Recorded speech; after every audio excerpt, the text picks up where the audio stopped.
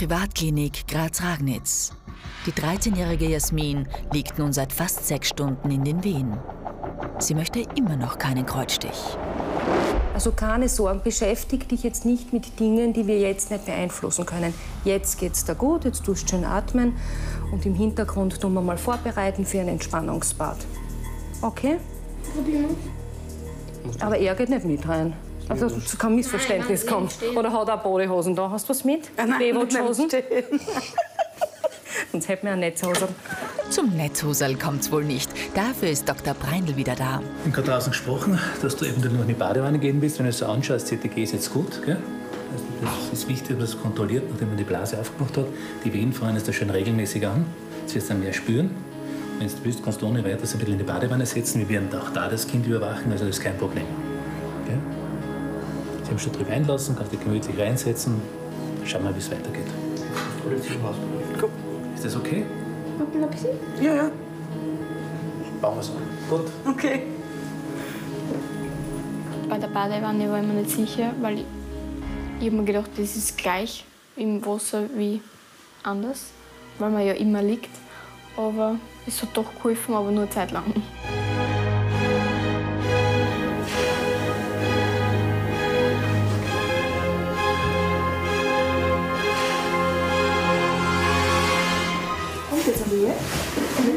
Wir mit, gell?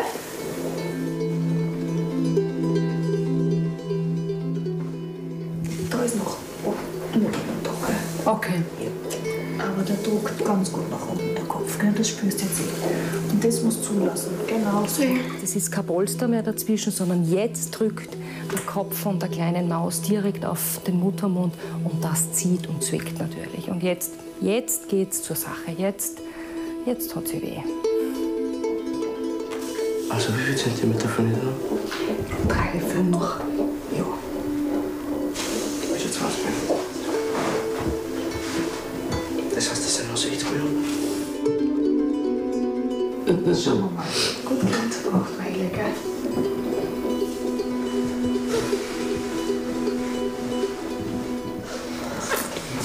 Du machst das so spitze, es ist unglaublich, wirklich, Jasmin, gell? Das haben wir schon vorgemacht. Wie bitte? Das haben wir schon vorgemacht. Ich mache mit Abbau. Ach so? Ja, aber es ist nicht gut, wenn man atmet, wird es googelt. Spitze.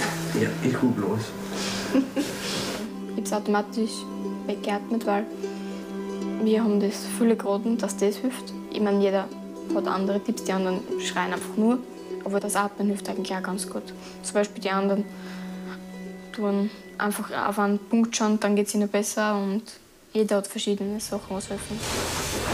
Und auch wenn es jetzt schiebt und drückt, gell? Das schön zulassen und nicht zusammenzwicken. Also das Baby schön alles, schieben das alles automatisch. Genau. Das ist also wie alle immer so, wenn es kommt, dann kommt es. Ja, genau.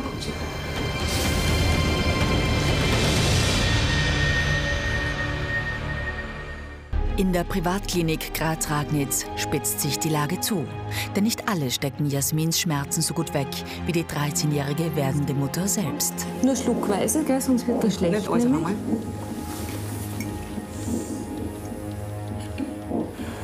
Super. Nochmal. Schluck. Kindesvater Dominik wird kurz alles zu viel. Los mit. Bitte! Bleib bloß, wenn sie braucht. Die ist nur wurscht. Warum magst du jetzt gehen? Hm? Geht's her, doch Bitte, Revivier, los, bitte! Ich bin ja da. Magst du jetzt nicht mehr? Komm, nimm die Hand von deiner Maus. Ich glaube, er war schon am Ende, weil mir kommt es vor, dass er das nicht überwunden hat, dass sie Schmerzen hat. Es ist Baby ist bald da jetzt. Komm. Halt fest. Gleich ist da, was glaubst du, wie schön das ist? Ich weiß, du bist auch nervös. Ich liebe dich.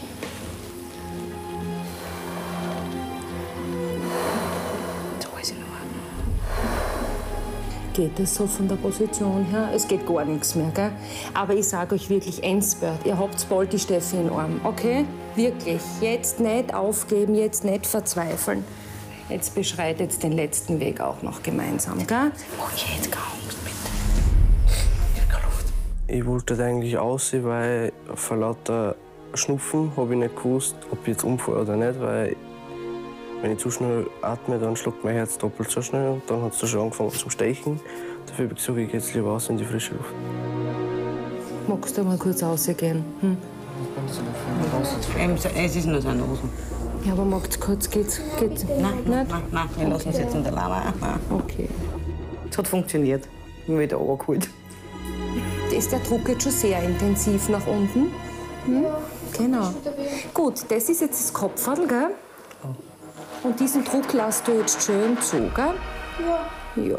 Nicht zusammenzwicken. Wenn es gar nicht aushaltbar ist, ja, dann, dann kannst du ruhig den Druck ein bisschen unterstützen, gell? Indem du ein bisschen so ah, mitstöhnst oder mitjammerst oder mitschiebst ein bisschen, gell? Ich glaube einfach, das war genau auch der Moment, wo die Jasmin halt ein bisschen lauter geworden ist, gell? Das schreckt oft die Partner so. Das hat jetzt aber überhaupt nichts mit dem Alter zu tun, sondern einfach, wenn ein Mann die Frau unter der Geburt in dieser Dramatik auch ein bisschen erlebt, gell, dann ist man kurz einmal wirklich erschrocken. Gut, die eine Wehe noch, dann drehen wir uns in Seitenlage, gell? Okay? Und dann schauen wir, dass wir zum Baby kommen. Privatklinik Graz-Ragnitz. Die Wehenschmerzen werden bei der erst 13-jährigen Jasmin immer unerträglicher. Hat sie genügend Kraft, ihr Baby auf natürliche Weise und ohne Kreuzstich zur Welt zu bringen? Wer? Gut. Oh ja. Lass es schieben. Und runterschieben lassen. Magst du mitschieben jetzt? Hast du jetzt das Gefühl? Hm? Ja, die ganze Zeit Ja, dann probier mal, probier mal. Wir können uns noch probieren. Wir probieren leicht. Ja. Griffe da hinten so. Du bist mir die Finger. Das war wieder die Wehe. Hm? Die, ist, die Wehe ist intensiv, aber ein bisschen kurz. Also ist schon fertig? Tu runter das Bein. Hm? Nein, bitte nicht. Magst du so bleiben? Ja. Okay. Ich bleibe jetzt ruhig. Das Schlimmste für mich war, nicht zu wissen, ob es gut geht oder ob es nicht gut gehen könnte. Es kann immer was inzwischen kommen, auch zwei Minuten bevor, der, bevor das Kind auf der Welt ist. Das hört sich gut an, gell? Entschuldigung, Schatzi, ich will nicht, aber. Ich bin wieder. Der holt dich fest. Weißt du, was gut ist, Jasmin, wenn du laut bist, schrei deinen Schmerz weg. Das ist Gebären, okay? Schrei's aus, so was du nur schreien willst, gell? Das ist ganz wichtig, gell? Wir motivieren oft Frauen, die ganz leise sind und sagen, du lass jetzt einmal was von dir hören und schrei einmal los, das tut einfach gut. Ja, bei den ersten Wehen hat mir das Atmen geholfen. Aber wie dann die Hebamme gesagt hat, dass Schreien auch vielleicht helfen könnte, habe ich es ausprobiert und das hat geholfen. Ist diese Position, Jasmin, einigermaßen für dich erträglich? Ja. Ich glaube, das ist für dich, merk, die Seitenlage ist deines, gell? Ja, ja, ja. Dann werden wir auch so das Baby kriegen, gell? Jawohl. Change, wegschreien. Das hört sich sicher eben auch für die Männer und Begleitpersonen einfach sehr dramatisch an. Das lasst uns nicht kalt, aber es ist für uns, es gehört einfach zur Geburt dazu. Ja, lass es nur runterschieben jetzt, gell? Es hilft, weil sie dann eher mehr aufs Schreien konzentriert als auf die Schmerzen. Und das lenkt ja da.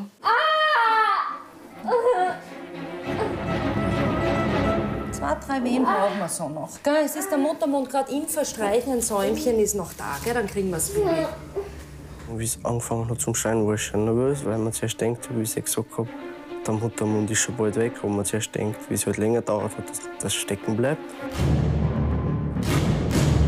Du schaffst das. Ja, lass es jetzt runterschieben. Das Einzige, was dir jetzt hilft bald, ist die Geburt deines Kindes, okay?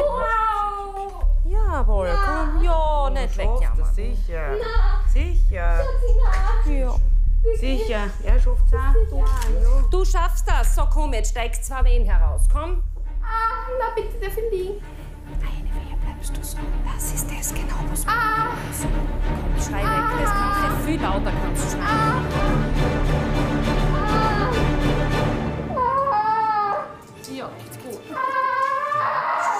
Jawohl, das hört sich gut an. Du bleibst nur zwei, drei Wehen heraus. Genau, mir ist lieber, du schreist und fluchst. Das hat sehr weh dann. Hat im Stehen waren die Schmerzen am ärgsten. Wie ich so starke Schmerzen gehabt habe, habe ich mir schon gedacht, dass es so schnell wie möglich kommt, weil ich glaube, sie hält es nicht mehr wirklich aus. Privatklinik Graz-Ragnitz. Die 13-jährige Jasmin hat schon über sieben Stunden starke Wehen. Um den Geburtsvorgang zu beschleunigen, ändert sie die Position und steht nun neben dem Bett. Perfekt. Eine Wehe noch.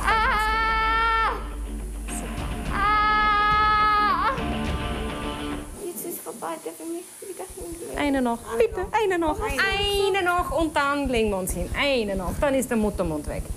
Eine noch. Da war ich dann schon ein bisschen aufgeregt, weil sie jedes Mal gesagt hat, ich kann mich schon wieder hinlegen und dann doch noch ein paar Mal stehen haben müssen. Wenn die geschafft ist, legst du dich wieder hinein. Jawohl, wegschreien. Perfekt. Bei Dr. Armin Breinl und seinem Team ist Jasmin in besten Händen. Wie der Kopf schon tief im Becken war, hat das sehr stark auf die Beckenmuskulatur gedrückt und das ist auch ein bisschen eng. Sie ist ja noch ein jüngeres Mädchen. Und da haben wir eine sogenannte Leitungsanästhesie gelegt. Keine Angst.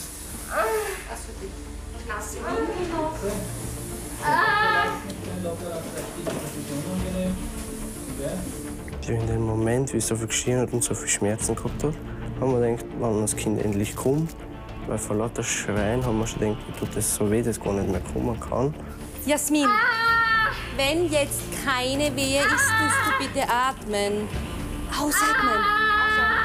Schön wegschnaufen. Genau, wir atmen.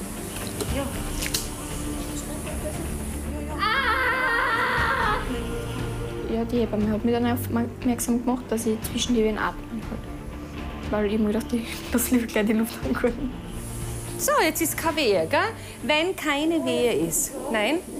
Jasmin, wenn jetzt keine Wehe ist, ist wichtig, dass du deinen ganzen Körper ein bisschen entspannst. Komm? Ja?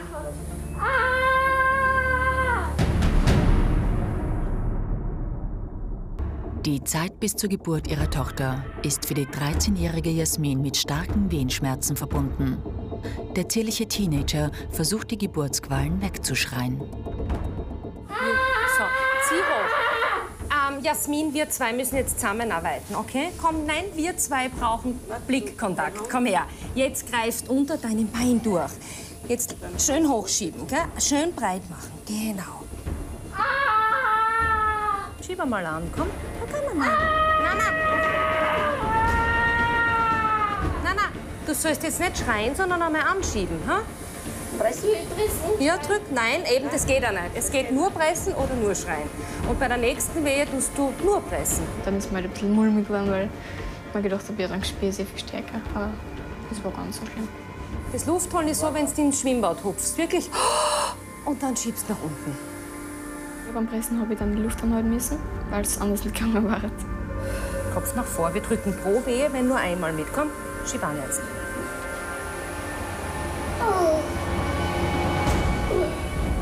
Gut, perfekt.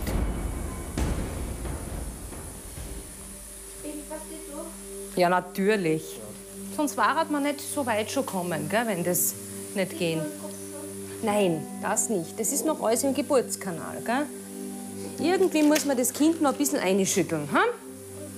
Komm nur, auf alle vier wieder, wie vorher. Prinzipiell ist ja Bewegung schon einmal allgemein gut. Und unter der Geburt, ich vergleiche das immer gerne, wenn ich da jetzt meinen Finger hernehme und einen Ring nehme. Wenn dieser Ring diesen Finger passieren möchte und ich ziehe gerade an, geht's nicht. Durch Bewegung und Drehen kriege ich den Ring runter. Und so ist es auch im Becken. Beine ein bisschen weiter zusammen, du bist zu weit auseinander, genau. Schieb an, komm.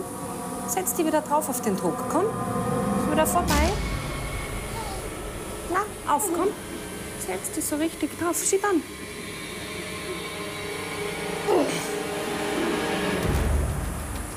Und dann, wie es halt so weit war, hat schon starke Schmerzen gehabt, da hat man dann eigentlich lattern, da wollte ja so schnell wie möglich das vorbei ist. Ist schon schwer, wenn man ein Kind zuschauen muss. Ja.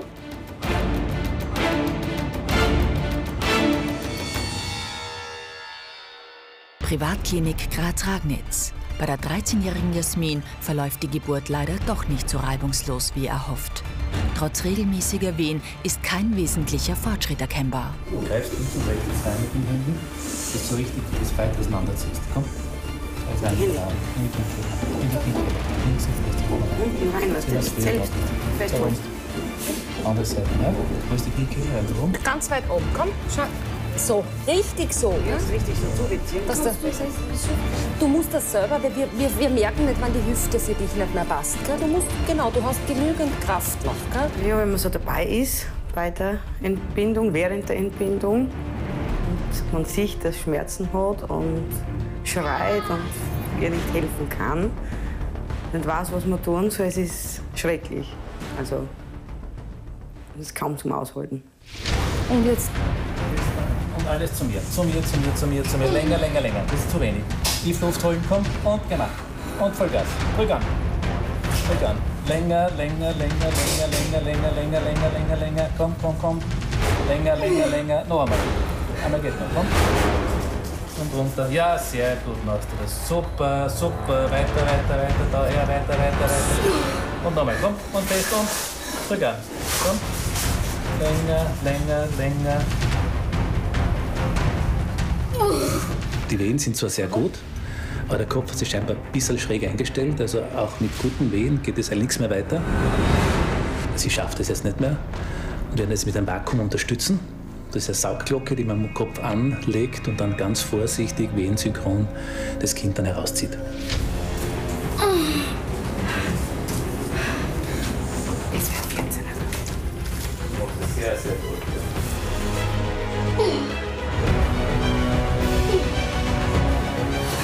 Ist eine aufstellen, so wie beim Gynäkologen in der Ordination. Gell?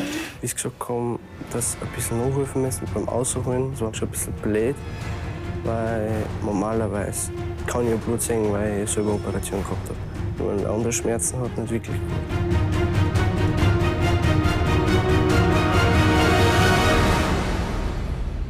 der Privatklinik Graz-Ragnitz geben Dr. Armin Breinl und sein Team alles, um das Kind der 13-jährigen Jasmin zur Welt zu bringen. Jasmin wollte eine natürliche Geburt ohne Kreuzstich. Bisschen rauf, hinten, dann geht das schon. Mit vereinten Kräften versucht man der Schräglage des ungeborenen Kindes entgegenzuwirken. noch nichts andrücken, noch nichts jetzt. Bitte nicht andrücken. Nicht noch andrücken, gell? Sie hat es einfach ganz toll gemeistert. Natürlich sieht man zum Ende hin, wie sie einfach kämpft. Und, aber das ist, das ist die Vaginalgeburt. So ist es. Kopfteil ein bisschen niedriger, bitte. Wenn die Kopfteil. Kommt, presst einfach mit. Gell? Wir haben jetzt schön Zeit, Kind geht's gut, ist alles kein Problem. Ja, super. Und gleich nochmal. Und fest andrücken, komm. Du schaffst Kannst schon. Kommst schon? Schieb an jetzt, nicht aufhören, komm. Und fest. Weiter, weiter, weiter. Einmal geht's noch, komm. Und einmal noch. Und fest. Und geht. Super. Mit Druck auf den Bauch und Saugglocke soll Jasmin unterstützt werden. So, jetzt warten wir auf die nächste Weh und dann, dann werden wir das Kind kriegen. Wie dann der Arzt mit voller Gewicht aufgedruckt hat, dass das Kind rauskommt, haben wir schon gedacht, soll jetzt was tun oder nicht. Aber normalerweise die reagieren auf alles aggressiv. Da haben wir weh angekriegt. Ruhig atmen, Jasmin, durch die Nase ein. Die Mutter passt auf, dass der Papa nicht umfällt. So ist sie. Der wäre der. Kommt die weh? Ja, dann fest. Alles, was geht.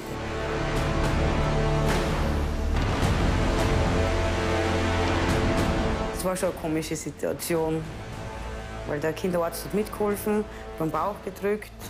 Und es war ja, schrecklich zum Zuschauen, sagen wir so.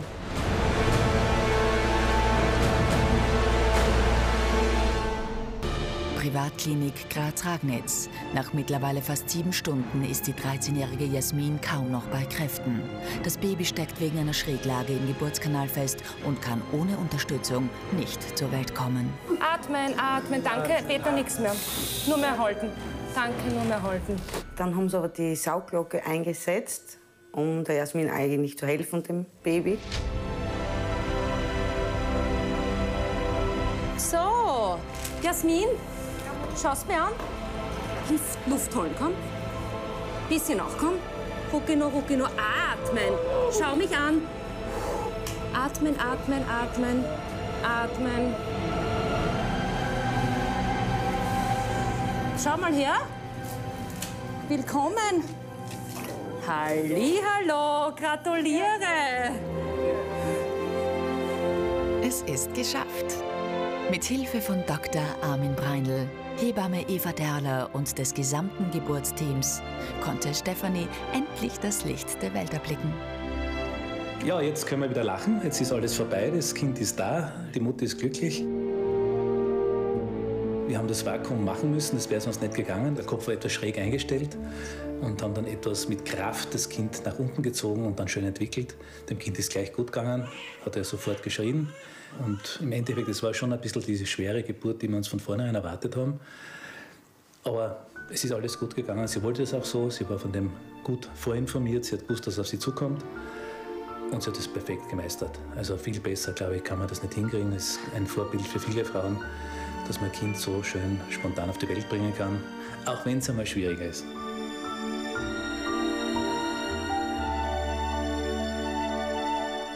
Also wie ich sie das erste Mal gesehen habe, war ich eigentlich überglücklich, dass es da ist, weil im Bauch dran die ganze neun Monate lang und dann einmal in der Hand halten ist ein viel besseres Gefühl.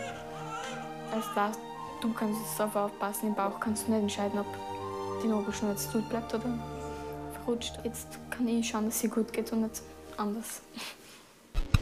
Stephanies ungewöhnliche Kopfform bereitet Jasmin allerdings Sorgen.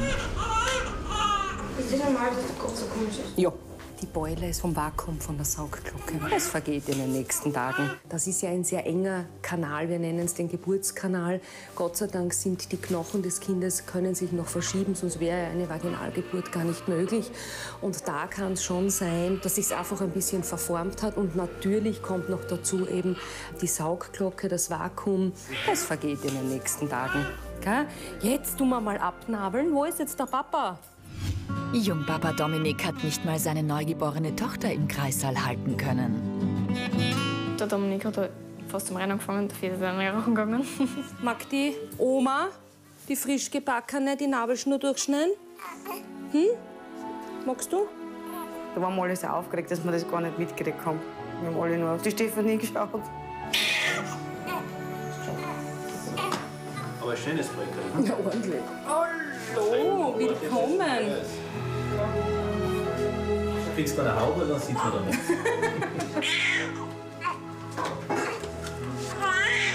Hallo.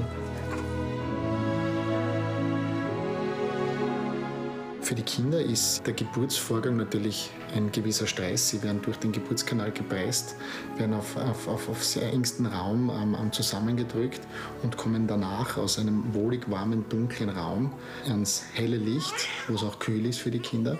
Und, und das ist natürlich schon ein Stress für die Kinder, aber dieser Stress ist für die Kinder auch aktivierend und die das Aktivieren bewirkt bei den Kindern, dass sie den ersten Schrei von sich geben.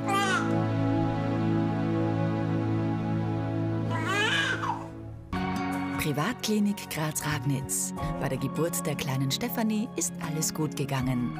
Jasmin kann aufatmen und der frisch gebackene Opa Harald ist spät aber doch nun auch zum Kreissaal unterwegs. Passt alles beim Kind, gell? Ist ganz gesund. Ab zu Mama wieder, gell? Dieser längliche Kopf, weil du gefragt hast, der ist ganz normal, gell? Der ist von der Vakuumgeburt. Und das wird sich wieder zurückdrehen. So, jetzt kriegst du Gratuliere. Ja. So.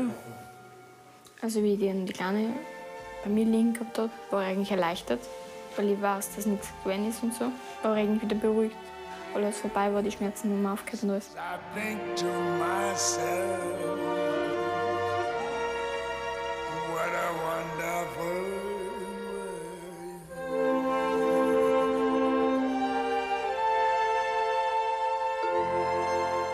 Geht's dir gut? Erschöpft, gell? Okay. Wir warten jetzt noch auf die Nachgeburt, gell? Und dann müssen wir, du hast einen kleinen Dammschnitt, gell? der gehört dann noch versorgt. Wir müssen einen kleinen Schnitt machen, das ist in dem Fall notwendig. bei ihr überhaupt. Beim Dammschnitt hatte Jasmin bereits starke Wehen. Vom Eingriff selbst fehlt der 13-Jährigen bereits jetzt jegliche Erinnerung. Wie wir dann den kleinen Schnitt gemacht haben, hat sie eigentlich überhaupt nichts gespürt. Hast gar nichts gemerkt? Gut so. Das Kopfhörer ist nämlich nicht so klein. Von eurer Maus, gell? Warum schaut der Kopf eigentlich so komisch aus? Weil wir eine Saugglocke gemacht haben, ein Vakuum. Wir haben von unten mitgeholfen. Das schaut aus, als würde es ein Hut auf. Ja, das vergeht aber in den nächsten Vergeht in Tagen. den nächsten- Ja. Dafür ist der Kopf so wach. Ha? Das ist normal. Das ist ganz normal, gell? Also das vergeht jetzt in den nächsten Das Tagen. man nicht anschauen. Ich finde schon eine sehr nette Familie. Und es ist für mich schon eigentlich sehr beruhigend, wenn ich weiß, okay, die drei sind nicht auf sich allein gestellt, sondern da ist schon ein Familienverband da und unterstützt die jungen Eltern. Weil es wird noch eine Herausforderung werden. Drückst noch einmal an. Nachgeburt brauchen wir noch, gell? Circa bis eine Stunde nach der Geburt des Kindes sollte auch der Mutterkuchen geboren werden. Der Mutterkuchen ist auf Deutsch gesagt ein Blutschwamm mit 500 bis 600 Gramm. So, die Luft holen und fest anschieben, komm. Die Frauen empfinden das als ganz kurze, stärkere Wehe. Perfekt, das war's jetzt schon. Magst du die Nachgeburt anschauen? Nein. Aus. Irgendwas damit tun, Plazenta, Abdruck, Bäumchen pflanzen. Schaut aus wie Leber. Kannst du daher Hast du Blumen pflanzen? Ja, ja, da gibt es Leute, die tun dann ihr Lebensbäumchen pflanzen. Wir müssen da jetzt einfach nur schauen, dass alles vollständig ist. Gell? Ein bohnengroßes Stück, was fehlen würde, müsste man dann leider eine, eine Curettage machen. Aber es schaut gut aus, da ist alles da. Also das ist ein wesentlicher Punkt, die Vollständigkeit der Nachgeburt. Weil die Mutti würde ja dann in den nächsten Wochen einfach zu sehr oder zu stark bluten. Sie ist vollständig, gell? Passt, dann werden wir das dem Dr. Breindl noch zeigen. Ich bin sehr, sehr glücklich, aber ich mache mir noch Sorgen um die Zukunft. Weil falls noch was schief geht oder so, oder bei der ist mir noch zu viel Blut wegrinnt.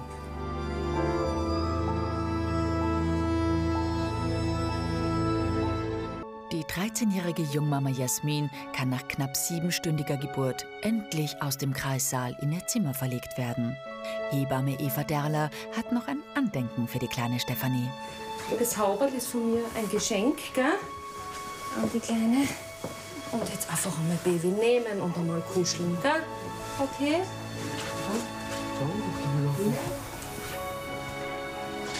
Wie alles eigentlich vorbei war und ich die Kleine gesehen habe, dass es gesund ist, wie es gehalten hat. Ja, das war eigentlich der schönste, der schönste Moment. Jetzt ist die 13-jährige Jasmin tatsächlich Mutter. Und sie ist vor allem noch eines, überglücklich. Es war schön, dass dann da war. Weil neun Monate nur ein Ultraschallbild sehen und dann nachher ist doch ein Unterschied.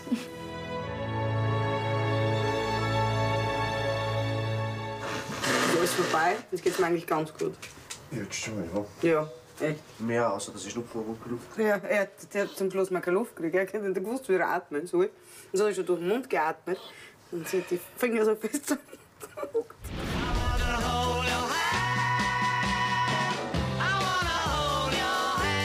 Treffe den so.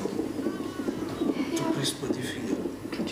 Ein paar so Wunden hat er, hast du den noch? Ja, da. Wo sind sie? Schau die Wunden an, was der hat. Da. Da drüben. Richtig, die, richtig große. Eigentlich fühlen tue ich mich gut. Außer, dass ich mich noch nicht auskenne, was man da alles machen muss, wenn es schreit und das was. Aber das lerne ich noch. Weißt du, wie schwer das ist? Weißt du, wie schwer das ist? Ich weiß nicht, aber wie groß das ist. Du weißt gar nichts. Die ganze Wäsche kannst du vergessen. Warum? Weil es 53 groß ist und wir haben 50, 52 zu haben. Und so viel gekauft. Und 3 Kilo 60 schwer. Das haben wir nicht gewusst, dass so prächtig und so groß ist. Ja. Das, was du mit hast, passt auch nicht. Die 50er wird nicht passen. Was du willst. Eine kaufen, dann anziehen, dann heimfahren. Passt überhaupt nicht, das ist ehrlich.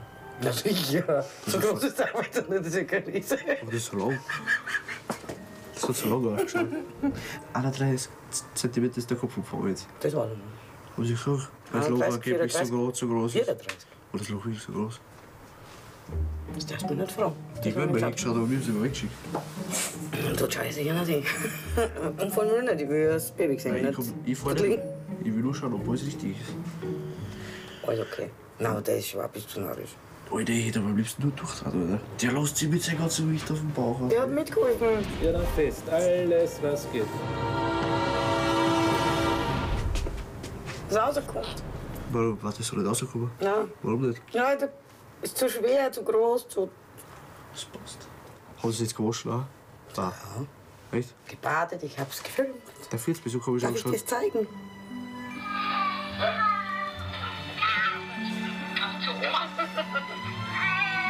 Ja, da habe ich gleich mitgekriegt, wie man das halt macht, weil man halt vorsichtig sein muss, weil es halt äh, gefährlich sein kann, dass du was eindruckst oder so. Eigentlich sehr hilfreich. So, jetzt gehen wir nachschauen, was, wenn alles okay ist.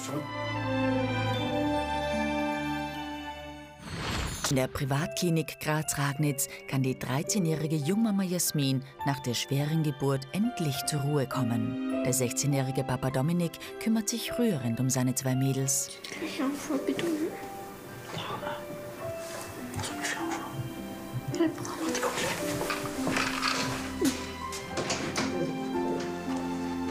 Dann, wie ich die Babyfoto von ihm gesehen habe, sieht schon gleich aus, obwohl sie ein Mädchen ist und er ein Bub.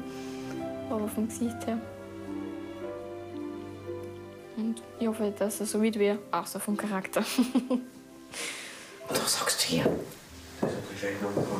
Hier? Ich glaube, sie hat das ganze Gesicht für ihn, oder? So, irgendwie. Ein bisschen was von dir. Gut? Schaut, schaut aus wie du. Ich glaube nicht, dass sie das ändern wird. Sie schaut wirklich so aus. Aber ein wunderschönes Mädchen. Schau dir was für ein Baby. Schuhe.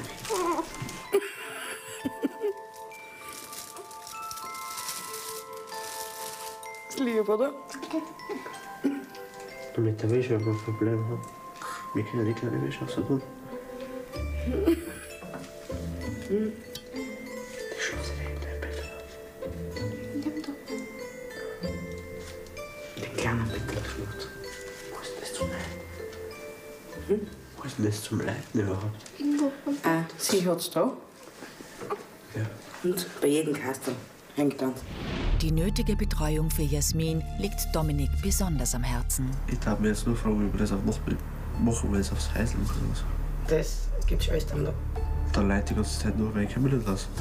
Wenn sie aufs Klo muss, dann an, fragst du. Wenn das Da Baby aufs Klo muss, leite ich an. Wenn das Baby aufs Klo muss, tust du das wirklich. Ihr könnt jederzeit leiten, wenn was ist, wenn Sie was brauchen können. Beim ersten Mal aufstehen. Habe ich gesagt, ist er soll, also wenn ich wirklich Ich gesagt, wenn es aufs Häusl muss, dabei bin ich eh noch da, wenn es nicht stört. Tut das Genau. stark, wenn ich aufs Klo gehe? Aufs Klo gehen kannst sicher. Ja. Schauen wir mal.